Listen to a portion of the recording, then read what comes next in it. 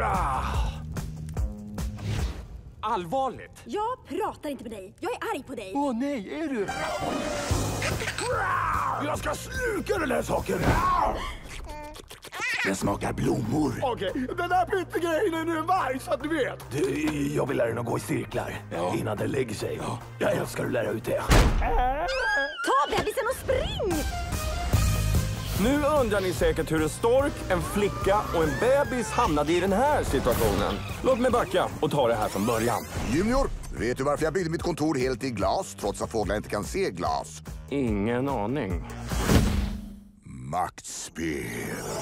Jag lägger ner bebisar och börjar med paketutdelning. Våra nya mobiler! Cool, cool, cool, coolt, jättecoolt. En dag kommer allt det här bli ditt om du inte klantar dig monumentalt. Föräldralösa Tulip! Junior? Um, det räcker med Tulip. Det andra är så sorgligt. Det där är en vaktel, en emu och en kyckling. De kan inte flyga. Hon hjälper oss uppnå vår dröm. Det här kommer bli toppen! Tulip, va? Vad är det där? Det är en bebis! Storkar kommer inte med bebisar längre. Om den här bebisen hittar sin familj så kanske jag kan hitta min. Du kommer hitta din familj. Tror du? Absolut. Det här är galet! Vi levererar en bebis! Om någon får reda på det här så är jag dödad.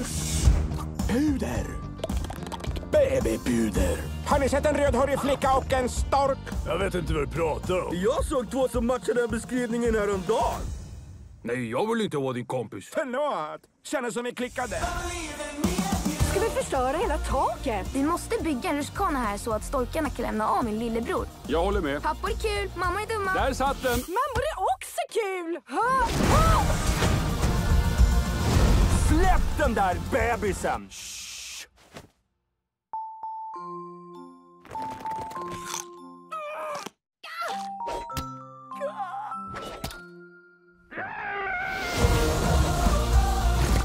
Är du kär? Jag är kär. Är du kär? Jag är också kär. Jag med, jag med, jag med, jag med.